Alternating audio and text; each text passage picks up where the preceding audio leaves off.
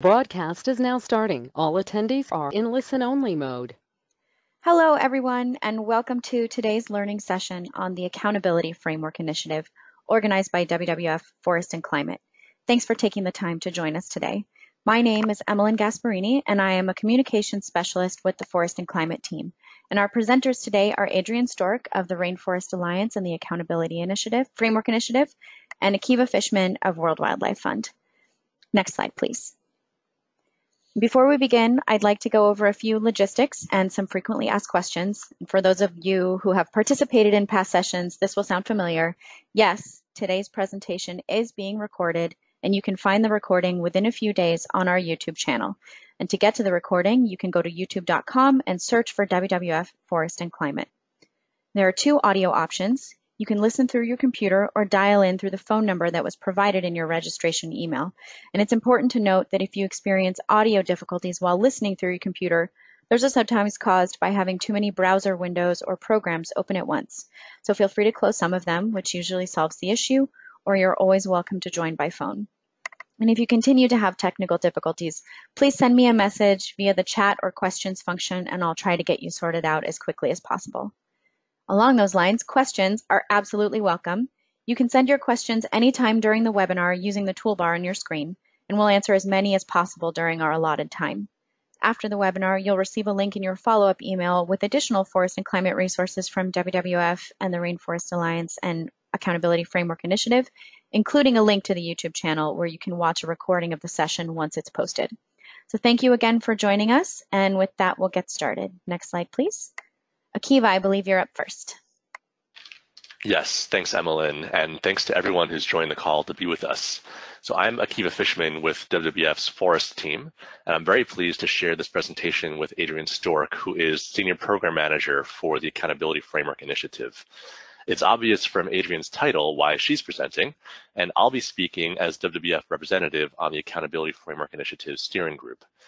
WWF has been a major contributor to this initiative, and we are particularly pleased to have helped ensure that the guidance developed by the initiative is relevant both for supply chain focused strategies for addressing deforestation, conversion, and human rights violations, as well as for broader landscape and jurisdictional strategies, which we'll talk about a bit later on. Next slide, please. So what we'll do first is give an introduction to explain what this is all about. I'll start us off briefly and then hand it over to Adrienne. Adrienne will then talk about how users of the accountability framework would actually use it. And then I'll dive a little deeper for this audience on the section of the framework guidance that deals with achieving commitments to address deforestation, conversion, and human rights violations through collaboration with other stakeholders. Next slide, please. So let's begin with an introduction to the Accountability Framework Initiative. And if you go to the next slide, I'll start with a preliminary note on terminology. When we talk about the Accountability Framework Initiative, or AFI, this is the coalition of NGOs, which we'll say a bit more about later, that came together to develop guidance to accelerate progress and improve accountability for ethical supply chain commitments in the agriculture and forestry sectors. The accountability framework is this guidance, or in other words, it is the output of the AFI. It provides a set of common definitions, norms, and guidance designed to add clarity and consistency to the way in which commitments are set and implemented.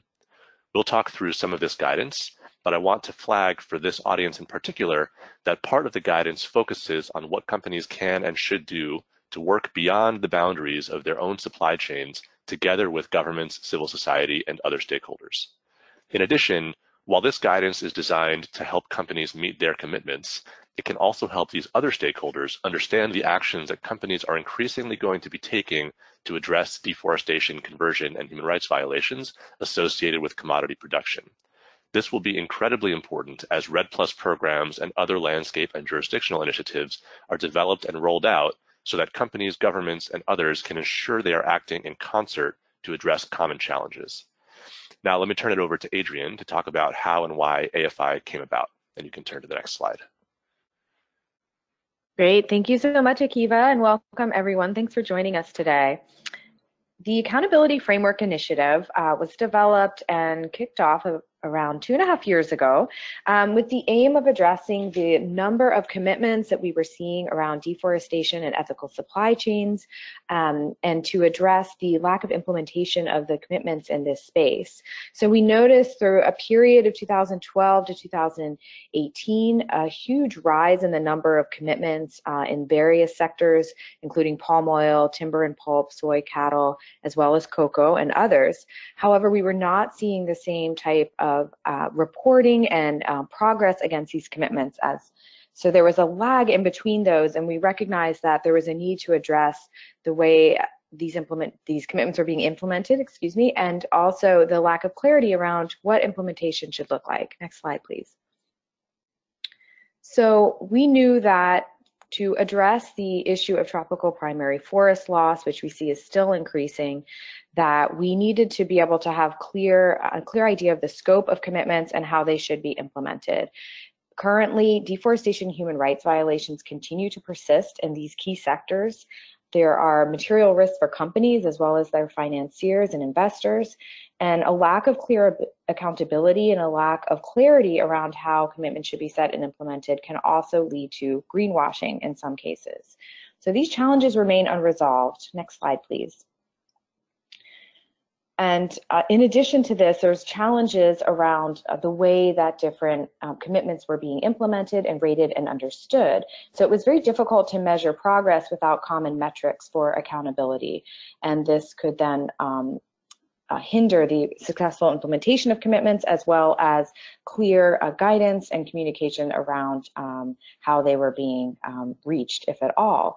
So for example, we were seeing in different uh, palm oil scorecard ratings or different um, types of rating tools and assessment mechanisms, um, different different types of metrics being used, and so different signals oftentimes being sent to companies. For example, with a single company, they could have a score of an A with a certain scorecard, um, and a, then a much lower score with another based on the same um, the same results that they're reporting in their annual reports due to a differentiation in the metrics being used to measure their progress. And so the accountability framework also recognized that there's a need to work with the reporting and assessment community and to start to align common metrics we were developing with the way that companies, these metrics were then being used to assess companies and their progress. Next slide, please we started out this initiative looking at the topical scope of around deforestation, conversion and protection of other natural ecosystems, respect for human rights, including labor rights, and looking at producer and community livelihoods. This scope largely mirrors the scope of many company commitments in this sector. And so we wanted to make sure that the initiative were to be successful, that we were addressing and mirroring the same scope of company commitments um, to make sure that we were covering all of those same, um, same topic areas. We looked across a variety of supply chains and a variety of geographies. So we looked um, primarily at the main drivers of deforestation, including palm oil, soy cattle, the others that you see here in this center column, as well as rubber um, coffee and others. And we looked across all of the different tropical geographies, including South America, Southeast Asia, and West and Central Africa.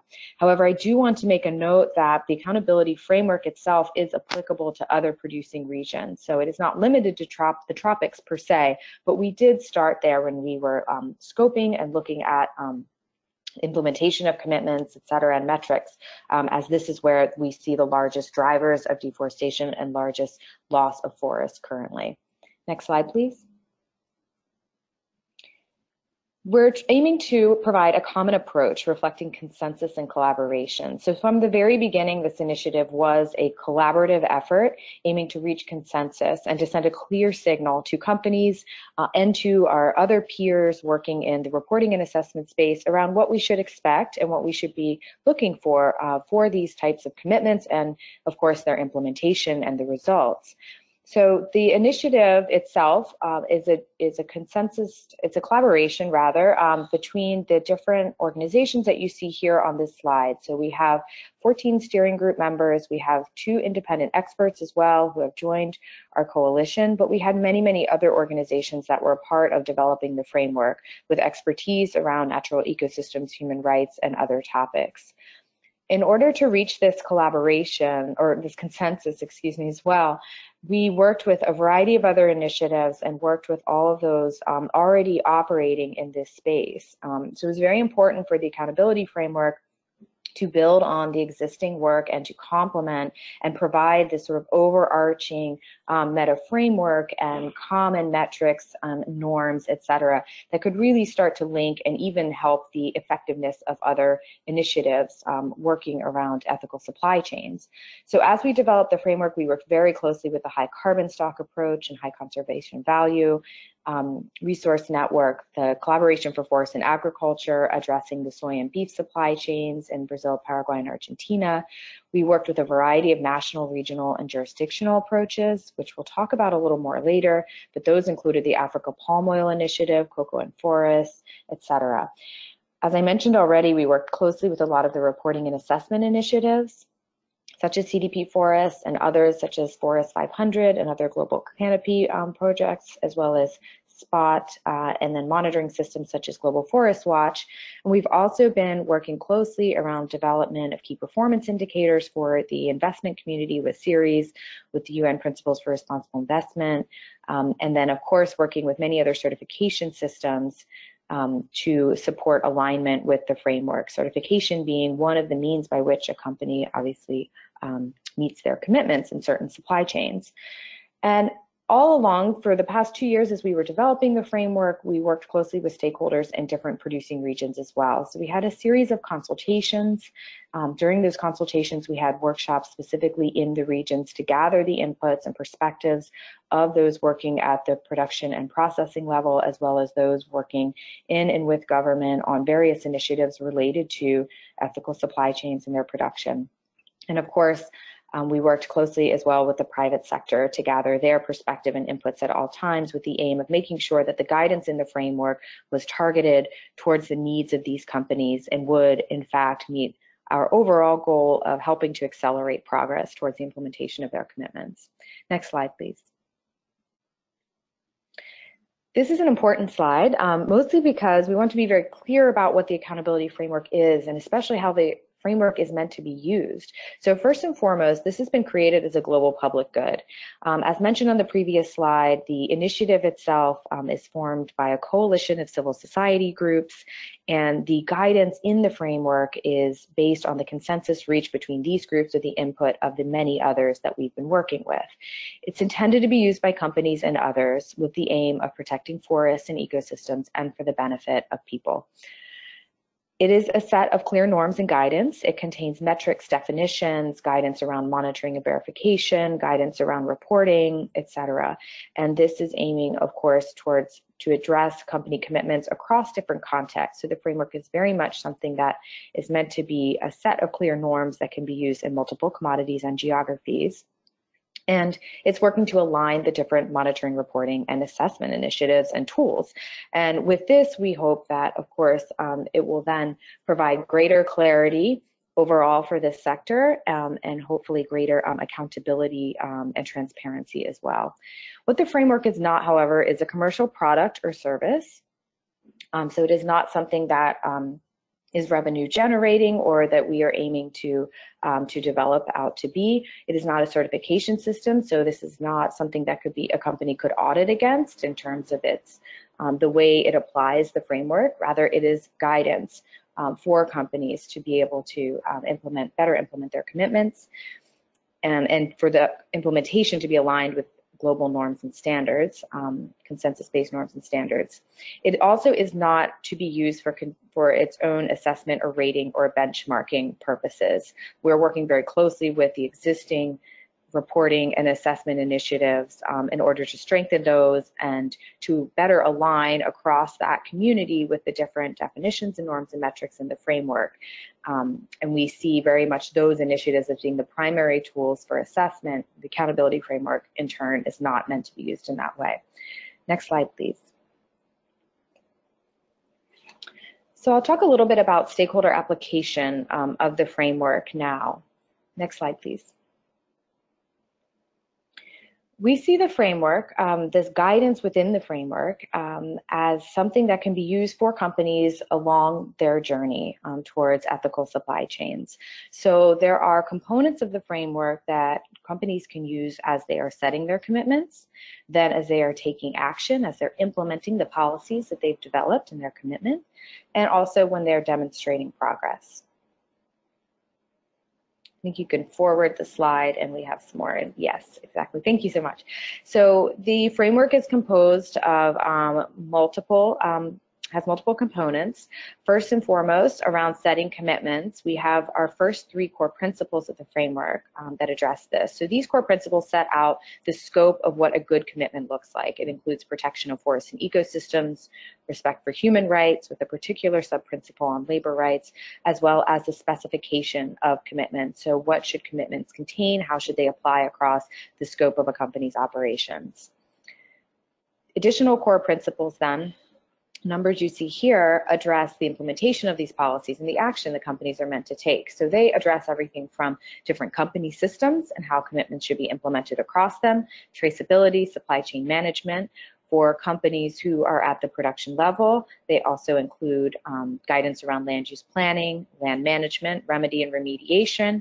And then, of course, there is a principle as well around collaboration to achieve commitments. So what are the types of influences and actions that we want to encourage companies to take um, with other stakeholders at the production level, whether within jurisdictions, with government counterparts, with civil society, to help um, to collaboratively achieve those commitments and their landscapes where they're operating and sourcing.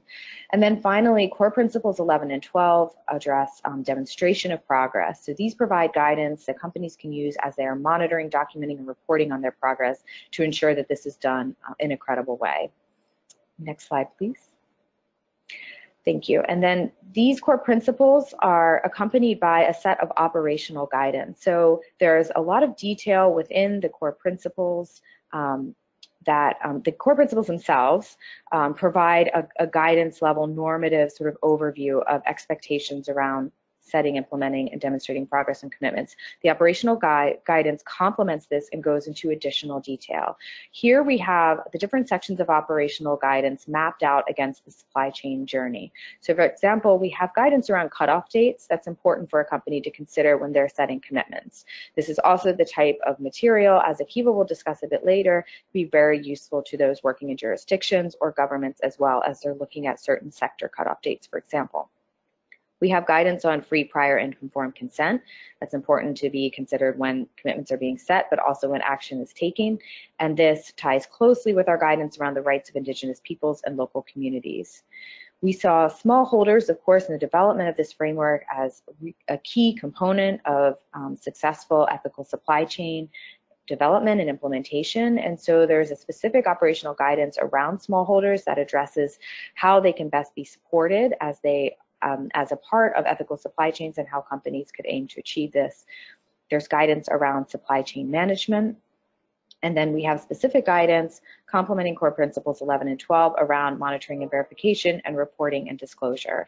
And all of these are aiming to provide much more detail for companies to use as they're developing their different sourcing protocols, implementation systems, and others, and also to provide clarity for the broader community of those, whether they're in policymaking or working um, around accountability through civil society or in support of companies' implementation, for example, to make sure that we are all in this, have the same understanding of what good looks like and what the expectations are around this so that there can be greater focus on implementation um, and less confusion around those issues.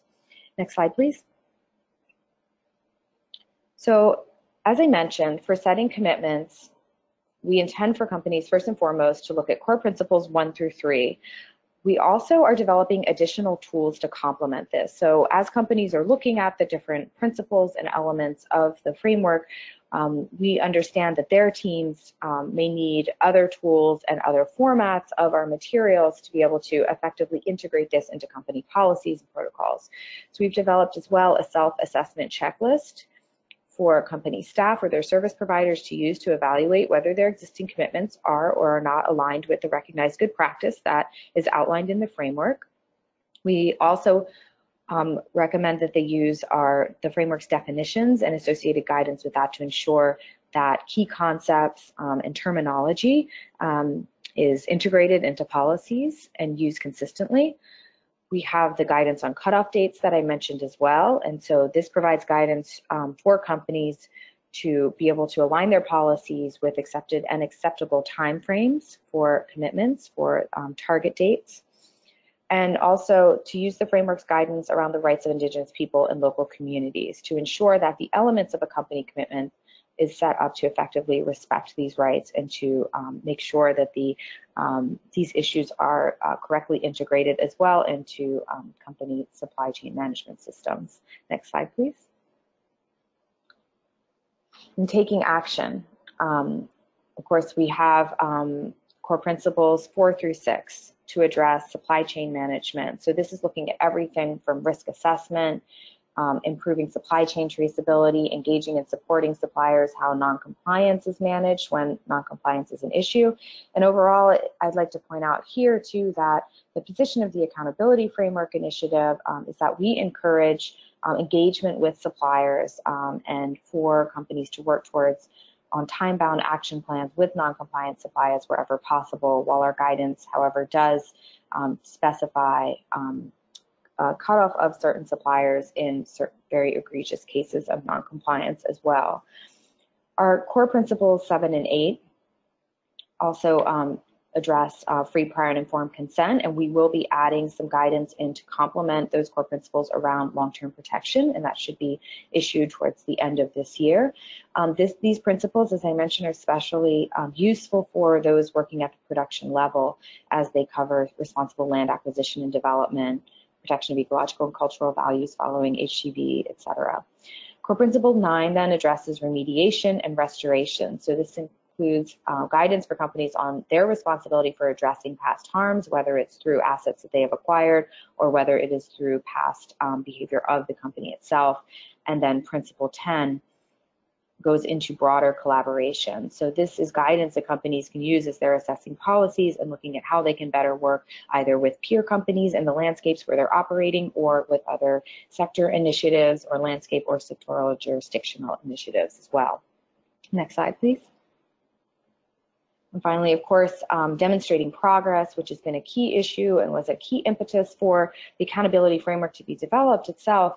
Um, the guidance we have to uh, accompany core principles 11 and 12 um, are are the different metrics, um, guidance around monitoring and verification, really aiming to help companies more credibly demonstrate the progress that they're making, um, and all of the guidance within these core principles and in the accompanying um, operational guidance as well, um, as I mentioned, is also being integrated into different methodologies as we're working closely with the reporting assessment community. So we're really working to try to streamline as much as possible the guidance from the accountability framework into existing monitoring and verification tools that companies and others are already using, such as Global Forest Watch, and also into the reporting systems such as CDP Forest or assessment systems like Forest 500 that are looking critically at company performance um, and assessing it so that we can have a common basis for understanding um, more broadly across the community. And again, that should allow for greater accountability and transparency in the sector.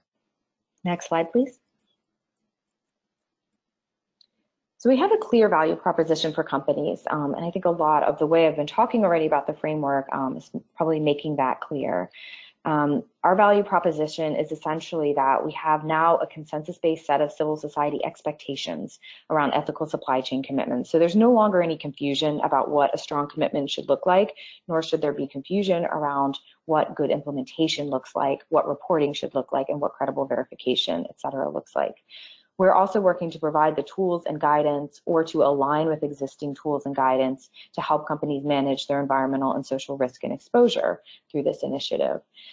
It essentially offers a shared language that can be used across different commodities and geographies and supply chains for all types of user groups, whether it's private sector, civil society, government, and others. And we'll talk a little more about this in a moment to harmonize different definitions uh, and norms. So our hope is that as we have reached consensus around this and as the different definitions and norms and metrics of the framework are taken up and starting to be used by different sector initiatives, policymakers, companies, et cetera, that we see this alignment across the way we are thinking and about and addressing these issues and that that can accelerate progress, lead to greater clarity, um, and lead to, of course, better, more impact on the ground around implementation of these commitments and their goals. It's looking to strengthen and streamline transactions along supply chains as well by standardizing expectations, and of course to streamline and reduce reporting burden since there is a consistent set of expectations now available through the framework. And this, of course, and following the guidance should strengthen credibility of claims. So there should be also less confusion around this, um, less ambiguity, and um, a greater ability to be able to see where strong and credible claims are being made and where they're not being made and where additional work is needed. Next slide, please. We also, though, see the accountability framework as a key tool for other actors as well. And while a lot of the work around the initiative has, of course, been geared towards the um, the set of commitments that were made following the New York Declaration on Forests in 2014 with 2020 deadlines um, by many, many companies, we also have been very cognizant and working closely with members of civil society and different government-led initiatives or public-private sector initiatives to see how this framework can be used by other actors, as we see this as a key way to make sure that this um, common set of norms and guidance is uh, effectively implemented um, and can help to strengthen accountability across the board. So linking local activities to global norms through civil society um, by using the framework is one of the ways that we can we can do this. So having a common set of expectations should help civil society, whether it's at a local production level or whether it's at a global international level, to be sending clear and consistent signals around expectations to commodity buyers and other stakeholders. The framework can also be used by civil society groups to develop advocacy positions that are based on accepted expectations and goals, and to improve the effectiveness and compatibility of various tools and standards and monitoring systems that civil society groups are involved with um, the development of. By governments also, we can improve the effectiveness and compatibility, we think, of government tools and monitoring systems and other sources of supply chain data, such as concession boundaries or tax information or other data sets that governments collect um, and publicly release on an annual basis by aligning these with the norms, definitions, and terms that are used in the accountability framework so that there's a clear set of expectations coming not only from civil society, but hopefully also from governments, and that this is aligned with the market signals that companies are receiving. In aligning these national policies, we could also look at the different landscape and jurisdictional approaches that are ongoing and work specifically with these or other sector initiatives to help align them as well with global norms. And we're starting to see some of this uptake already um, in some uh, with some of the partners that we've been working with um, in Southeast Asia can also be used to promote efforts to support communities and smallholders to improve their production practices, habitat restoration efforts, to promote partnerships with companies and other stakeholders, um, as well as looking at restoration of larger landscapes and ecosystems. So we would hope that the guidance that's available in the framework that addresses smallholders, that addresses communities, production, restoration, et cetera, can also be useful for initiatives addressing these issues or by government policies addressing them, support to smallholders, for example, so that this greater alignment can mean that um, their, their production practices are more in line with what buyers are looking for and thus that these smallholders can be more effectively integrated into um, supply chains. Next slide, please. Great, and now I'm gonna pass over to Akiva um, to talk a little bit about how we think um, commitments can be achieved through collaboration and to mention a few of the key aspects of the accountability frameworks guidance um, in core principle 10 and our accompanying operational guidance around this. Akiva? Yeah, thanks, Adrienne. So, so Adrienne just gave a quick overview of the full suite of topics on which AFI provides guidance. And many of these topics deal with the elements of a company's efforts to eliminate deforestation, conversion, and human rights violations from within its own supply chain, including sections dealing with supplier management, traceability, reporting and disclosure, and so on. But the accountability framework also recognizes that deforestation, conversion, and human rights violations often have deeper root causes and can't be controlled solely by the actions that companies might take. These causes are very familiar to those who work in the land governance space and include things like weak governance capacity, corruption, unclear land tenure, illegal encroachment, and many others. So the framework includes a section of guidance that, first of all, acknowledges the responsibility of companies to take action together with other stakeholders to help address these deep challenges on top of the things that they do to improve their own supply chains. And then this section also discusses some of the types of actions that companies can take in this regard. So let's go to the next slide. The 10th core principle that Adrienne briefly reviewed and its accompanying section of guidance frame some high-level expectations to begin with. First is that companies will participate in multi-stakeholder initiatives aimed at addressing critical social and environmental challenges at scale. The nature and degree of participation may differ depending on parameters like where the company sits in the supply chain or its market share within the supply chain, but the common expectation that companies will engage is clearly articulated. And this is critical because these types of initiatives are the only way to ensure that even top-notch work that's done by individual companies or other actors doesn't simply displace impacts to neighboring farms. This is leakage that we all worry about. Companies are also expected not to simply withdraw from geographies with social and environmental risk as a way to mitigate their exposure to those risks. Rather, like Adrienne mentioned before, the default approach that AFI takes is for companies to remain engaged in those geographies and use their influence to address these risks. It's also not enough for a company to do its own homework in applying the accountability framework's guidance. This needs to be complemented by efforts to encourage other actors in the company's sphere of influence, like suppliers, customers, peers, industry groups, and governments, to act in ways that are compatible with the guidance. Part of this includes clear communication by companies to suppliers of their AFI aligned sourcing requirements, and a system of incentives to move suppliers towards compliance with those sourcing requirements. And finally, AFI's guidance captures the expectation that companies will ensure that their advocacy with governments is consistent with their own supply chain commitments in alignment with AFI framework, with accountability framework guidance. Next slide, please. So I mentioned that the framework goes into some specific actions that companies can take to support multi-stakeholder efforts in the most effective ways available. The guidance differs depending on a company's supply chain position. For example, commodity producers can share their spatial data with and management plans with the government and other stakeholders to facilitate more effective land use planning. They can also play an important role in disseminating best management practices and technologies to communities and smallholders to boost their ability to contribute to deforestation and conversion-free economies. For companies further down the supply chain, the accountability framework suggests actions like financially supporting upstream companies to take actions to meet framework guidance, for example, restoration to redress recent deforestation or establishing effective FPIC procedures or grievance mechanisms. Downstream companies can also use their commodity purchases to incentivize suppliers or potential suppliers to act in accordance with company policies and elements of the accountability framework. Another opportunity is to collaborate with other downstream companies sourcing from the same region to address common challenges by sharing information or pooling resources. And then companies may choose to condition their sourcing decisions on positive performance, not only by their direct suppliers, but of the broader jurisdiction in which the suppliers operate. This can be a tool for rewarding jurisdictions that are effectively addressing deforestation, conversion, and human rights violations, and for incentivizing other jurisdictions to do so as well. Next slide, please. So all of these actions and others besides are intended to help address deforestation, conversion, and human rights risks at large scales, and effectively to make whole landscapes or jurisdictions low risk for these impacts.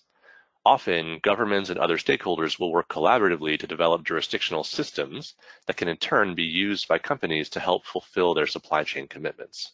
These jurisdictional systems include monitoring mechanisms, such as remote sensing tools that monitor land cover change across jurisdictions, and these would include national forest monitoring systems. The systems also include verification or enforcement systems, such as government-led systems that require certain parameters or elements of compliance to be verified across an entire jurisdiction. Then there are land governance systems, like some jurisdictional REDD Plus programs, or other multi-stakeholder initiatives that integrate land use planning, market-based incentives, and other mechanisms to address deforestation, conversion, and land governance holistically across an entire jurisdiction. And then there are landscape or jurisdictional assessment frameworks that assess performance metrics across entire landscapes or jurisdictions. Systems like these are not often designed or implemented rigorously, but when they are, and the accountability framework discusses the parameters for robustness, companies can make use of these systems to meet elements of accountability framework guidance that the systems effectively address. And then the last point to make here is that where jurisdictional systems are implemented successfully to the point that the covered landscape or jurisdiction might be deemed low risk for deforestation, conversion, and human rights violations, companies may be able to operate more freely there. More specifically, under those circumstances, land managers within the jurisdiction and companies that buy commodities from these land managers would not need to monitor or verify impacts down to the level of the individual production unit because the impacts would have been monitored or verified at the level of the jurisdiction. And second, companies that source commodities from the jurisdiction would not need to achieve traceability to individual farms beyond the level of the jurisdiction because, again, the jurisdiction was deemed to be low risk at the jurisdictional scale. So the carrot here is potentially very large for companies as there could be significant cost savings implications here. I do want to be clear that there are not currently any jurisdictions that I would consider to be low risk, at least not in tropical producing regions, but this is ultimately one of the major incentives for jurisdictions to address deforestation, conversion, and human rights at scale. On top of the local benefits that would accrue to people and nature from taking care of these impacts, and on top of the potential for performance-based payments, jurisdictions that manage these impacts effectively could see increased market, market access as companies increasingly are looking to work with and buy from these places. Then if you'll go to the next slide, I'll hand it back to Adrienne for a brief wrap up. Thanks. Great, thank you, Akiva. Yes, we just wanted to point out to you as well, um, all of this information and the entire framework, in fact, is available on our website, which is accountabilityframework.org. Um, you'll see that at the bottom here. You can also subscribe there to our newsletters. You can follow us on Twitter, and there are many resources on our website itself that will walk you through the supply chain journey and point to the different ways that the accountability framework can be used depending on um, the sector or organization that you're representing and working with. Next slide, please. And I wanted to also point out that we're receiving funding from the following organizations. Um, they've helped to make the development of this framework possible and continue to support us.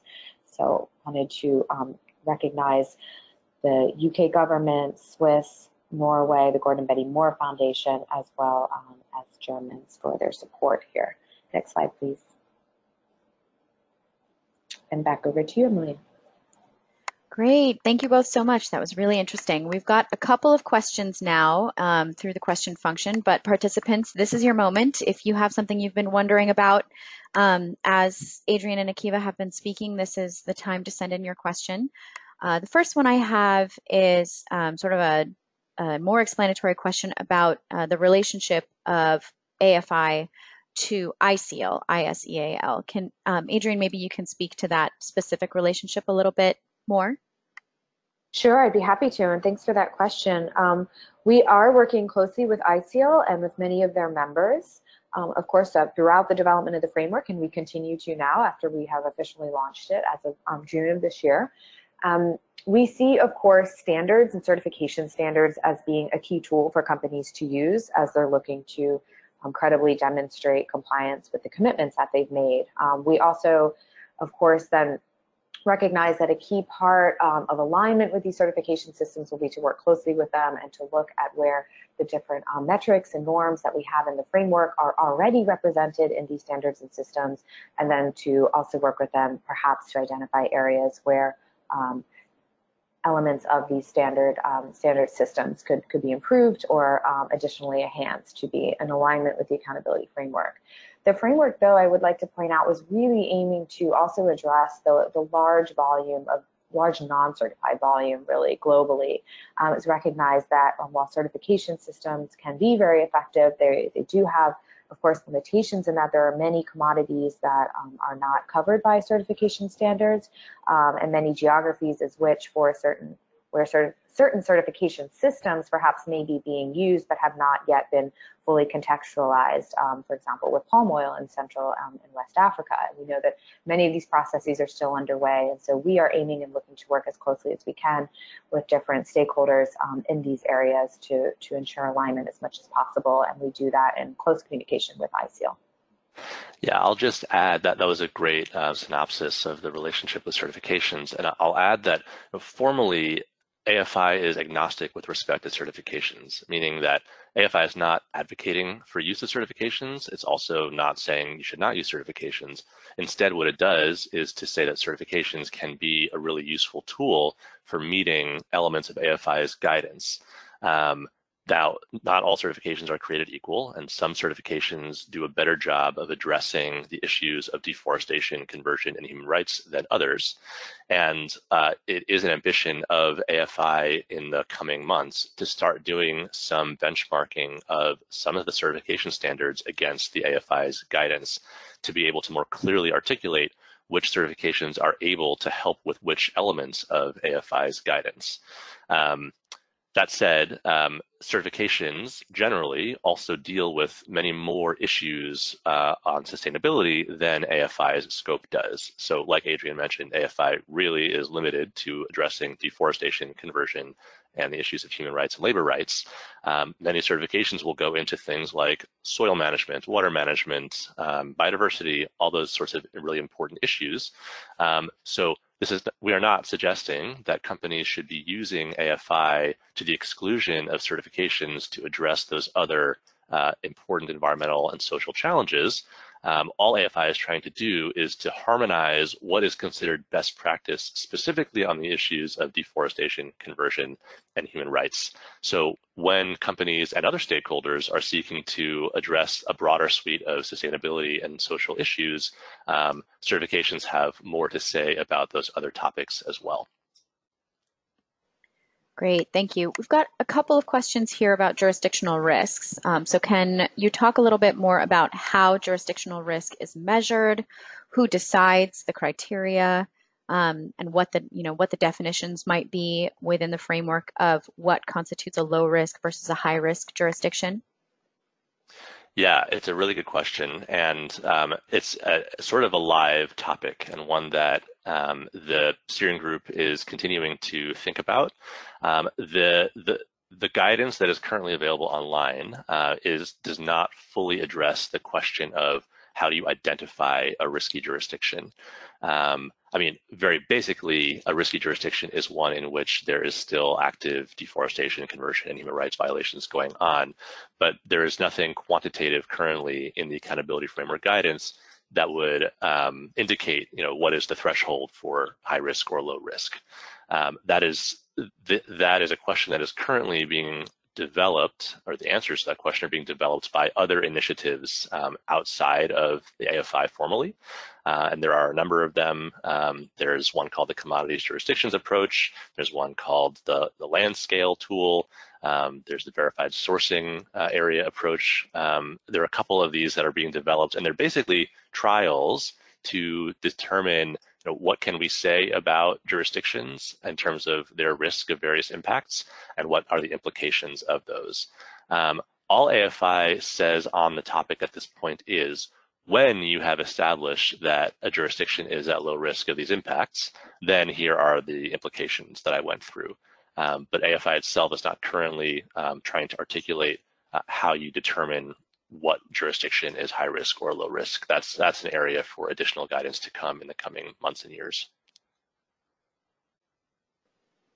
Thanks, Adrienne. I didn't know if you wanted to add anything to what Akiva said. No, I think that captured it really well. Fantastic. Um, we have some questions here also about companies. So do you have any assessment or any information you can share about any companies that have signed on or uh, are actively participating in you know applying the framework guidance to their supply chain commitments?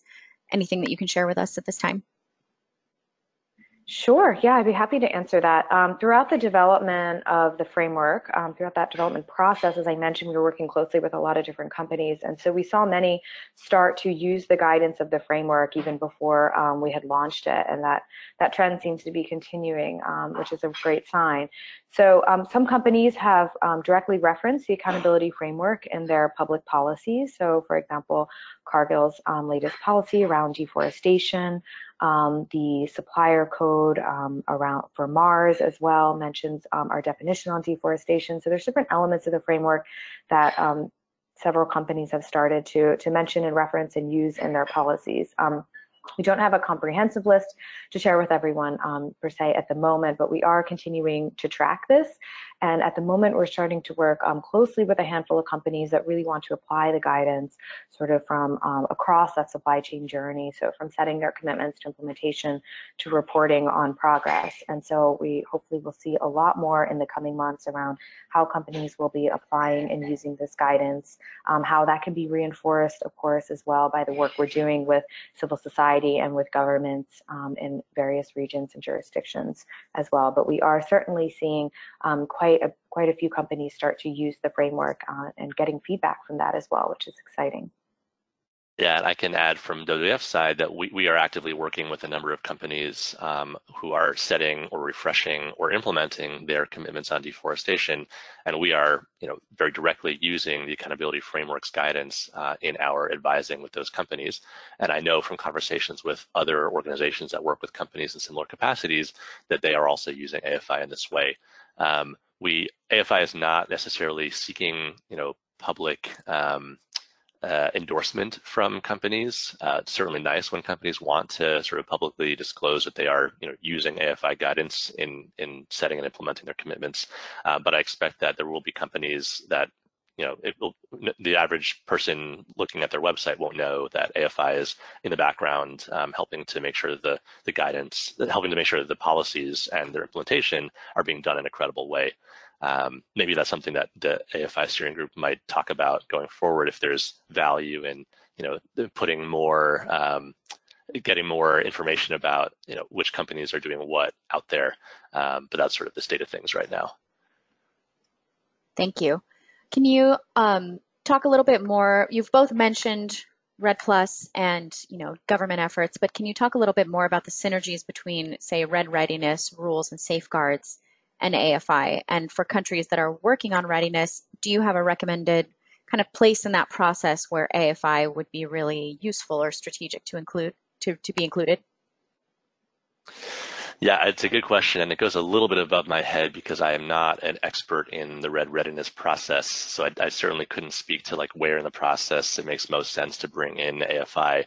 But at a higher level, um, you know, the objectives of of a REDD Plus program and uh, are, is basically they are aligned with AFI's objectives around deforestation, conversion, and human rights. Um, the idea is that um, we want to make sure that the expectations of civil society reflected in the accountability framework guidance and the expectations or the outputs of REDD Plus programs uh, are moving in the same direction and aligned um, so that we can ensure that whatever progress is being made in a REDD Plus program uh, is basically ambitious enough um, to uh, meet the approval of civil society and vice versa. We want to make sure that REDD Plus um, guidance and standards are reflected in the way that we treat deforestation and human rights issues in AFI. Um, so, I mean, that, that I can't give like more of a, a in the weeds answer than that at this point. We need to speak to colleagues who are kind of a bit more engaged in the REDD Plus mechanism than I am. Um, but that's, I guess, a starting point. Yeah, and I could just add in that, uh, you know, in many of the workshops we've done in regions at least, we've had always had um, colleagues from the different um, ministry, technical colleagues from ministries within government and those working directly with the REDD units and such um, as part of those. So we wanted to make sure that there, there were key stakeholders, want to make sure that had awareness of what what materials are included in the framework, what we're addressing, and to get their perspectives as well. So it certainly is to build on what Akiva said, um, a process, I think, and, and something we're looking to continue to identify and enhance, um, and looking at ways that the initiative itself can provide um, materials to help help those working on REDD to be able to effectively use the, the contents and guidance in the framework. Yeah, and the other thing I should add is just that a lot of the REDD programs at jurisdictional scales are increasingly looking to bring the private sector in as co-designers of the program and co-implementers. Um, for example, Ghana's REDD Plus program focused on cocoa very sort of in an upfront way includes cocoa companies uh, in the in the initiative. And so the idea is that if companies are going to be engaging in these REDD Plus programs, which is fantastic, um, they also need some guidance on how to credibly engage. Uh, you know, when they are working on these deforestation initiatives at scale, um, how are they to know um, whether what they're doing is, um, like I said, ambitious enough? Um, and so. I think we're seeing a bit of um, a coming together of the corporate space and the governance space um, that started out in more isolation. I would say that you know what 10 years ago let's say when these deforestation free commitments started being made by companies uh, they were made in a in a silo from the efforts that governments had been taking to address deforestation for much longer um, and now we're starting to see these programs developing that are seeking to bring together company efforts to address deforestation in their supply chain with government efforts to address deforestation within their territories. And AFI is helpful to make sure that the expectations and the goals that we're all pushing toward are are rigorous and credible. Um, you know, we all know of the you know there are uh, initiatives out there seeking to address deforestation that don't have especially high ambition. Uh, some of them are seeking to limit deforestation by a certain percent, but not trying to address it much beyond that. And so AFI is helpful for setting what is the expectation for really credible progress on on these issues. Um, so I'll, I'll stop there. Thank you. Sort of following on that, um, you know, you've described the framework really as a framework. It's not a new um, certification system. There's no sort of additional um, commitments that are required under the AFI necessarily. It's to help them help companies better deliver on the commitments that they've already made. Um, but can you talk a little bit about, you know, what might happen if a company using the AFI um, isn't in fact delivering on those commitments or isn't really using AFI's guidance in the proper way? Is there any sort of monitoring necess- or monitoring, yeah, of the framework in its implementation to see sort of whether companies are using it in, in good faith? That's a great question. Um, so as we mentioned earlier, the framework itself is not looking to, to do direct assessment of companies. Um, but within that, we do have some specific guidance that um, anyone can see on our website as well as to how we recommend that companies make any claims around the way they are using the framework to, um, to guide the development of their commitments and their implementation and such. Um, we do want to be careful, of course, and we will be trying to track the way that the AFI itself or the framework and its guidance is being um, communicated about, but not in the same way that an assessment initiative necessarily would. So we won't be looking to do any kind of um, assessing of company performance or any scorecarding per se, but rather the work that we've been doing with those in that community, um, CDP Forest, we're working also with supply chain. Um, they're really going to be playing that role and continuing to, and the alignment of the accountability framework's definitions and norms into their methodologies should enable that to happen. So for example, um, Supply Change is going to start tracking mentions of the accountability framework as they look at um, company policies and annual reports on a yearly basis um, and communicate about that through their um, their dashboards on their website. So there will be ways that the reporting and assessment community will be tracking and sharing that information, and we're really looking um, to work with them to make sure that there's sort of correct alignment and use of AFI's definitions and norms within their methodologies, um, and then of course um, encouraging its use by companies and, and we'll be we'll be looking at the way that companies communicate about the framework, but but not in so much of an assessment way. We'll we'll leave that to the reporting and assessment community and the work that that many um, really dynamic initiatives are already doing in that space. Yeah, this really goes back to the slide that Adrienne showed at the beginning of the presentation where, you know, she showed two sort of anonymized different palm oil scorecards that different NGOs use to rate the, the progress of companies on their palm oil commitments. And the problem was that there were different ways of assessing companies and there was, you know, confusion being sown as a result. And so what AFI is doing is helping to create the the template for uh, what is uh, an actual credible commitment and credible implementation of that commitment so that we have more consistency in the ways that companies are being assessed. Uh, so while, like Adrienne said, AFI is not going to do that assessment, um, it's really active behind the scenes to make sure that those assessment mechanisms are using, are drawing from AFI guidance to make sure that companies are using the guidance appropriately. Great. And sort of along similar lines, um, will there be a review system that will share things like lessons learned and challenges in different regions throughout, you know, or within the AFI framework, different processes? You know, I, I love a good knowledge sharing and learning question.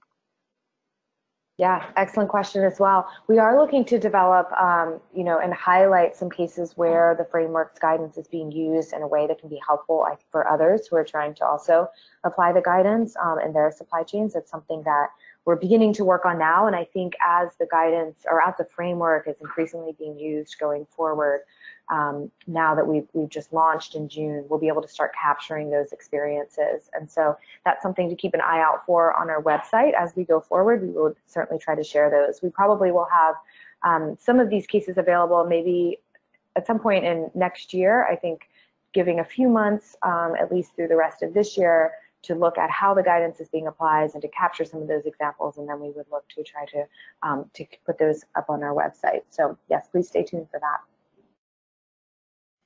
Fantastic. And do you have guidance within your guidance about how companies can start engaging or adopting A- AFI? Do you have sort of like first steps? These are the things you need to do before you can really dive in?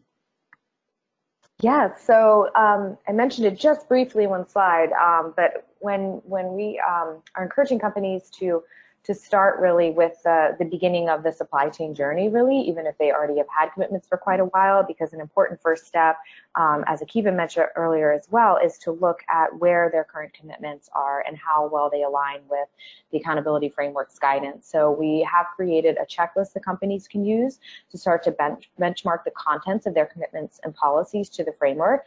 And then based on that, they would be able to identify the various other core principles and pieces of guidance that would help them then to um, refine or um, adopt their or adapt rather different implementation systems that they may currently be using or to add in others um, to further align with, with implementation then of those policies.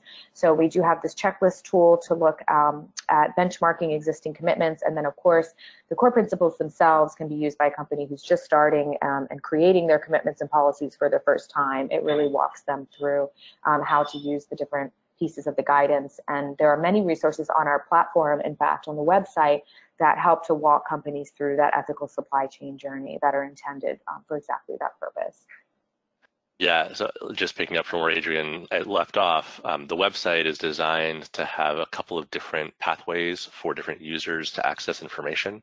Uh, one of those pathways is designed for employees of companies that are looking to identify like how do I interact with the material? Well, if I am at the point of needing to develop a new policy, then there's a certain pathway for them to pursue on the website. If they're looking to improve their supplier management system, there's a certain pathway to pursue. Um, we are in the process of collecting feedback on the website to make sure that we are able to kind of address all the various pathways of different users in a, in a user-friendly way. Um, and the other thing I think I can share is that um, while we currently do have the checklist tool that Adrienne mentioned, which is keyed to um, the first three core principles that address how to set up an effective or a credible uh, supply chain commitment, we are also in the process of developing a full checklist tool that looks at the entire uh, framework, all of the core principles and guidance um, that a company could use to benchmark not only its commitment, but also the ways in which it is implementing its commitment. And I don't have details on exactly when that'll be ready, but that's something that we're working on right now. Fantastic. Thank you so much. Um, sort of along those lines, we have time for this last one uh, logistical question, which is whether it's possible to download the framework guidance in a single document from the website, or is it all uh, available sort of in bits as you go through the website? So it is available for download on the website. Um, we are um, working with our comms team to create um, a single PDF as well, so someone could download all 250 plus pages of the framework at once if they so desire. Um, there are, though, within the different sections, each section does have a download button, though, so each section of the framework can be downloaded currently. Um, and as Akiva mentioned, you can walk through the different pieces of guidance directly also through these various user pathways that are included on the platform. So there's sort of different ways to access the information. Great, thank you so much. Um, looks like we've come really to the end of our time today, so I'm going to ask Jenny to go to the next slide. Um, thank you both, Adrienne and Akiva, for sharing your expertise with our community, and I want to thank the participants who joined us today for sending in your thoughtful and really engaging questions. Um, I can tell just by the number of questions we had that you guys, this is a topic that you're really engaged in. Um, which speaks to the increasing role we see of the private sector in this larger forest and climate work. Um, so thank you all for coming and joining us today. And you'll all receive your follow-up email in about an hour with a link to the website um, that Adrienne mentioned and some additional resources as well. Next slide, please. And if you want to revisit this webinar or share it with colleagues, the recording will be up on our YouTube channel probably by the end of today, if not tomorrow. And you can also find recordings of previous sessions there for additional enrichment. So we did have someone ask if there were other webinars that describe REDD, or REDD Plus. Our web, our YouTube channel is a great place to go for that kind of resource. Next slide, please. So thank you all again for joining us, and I hope you have a great day.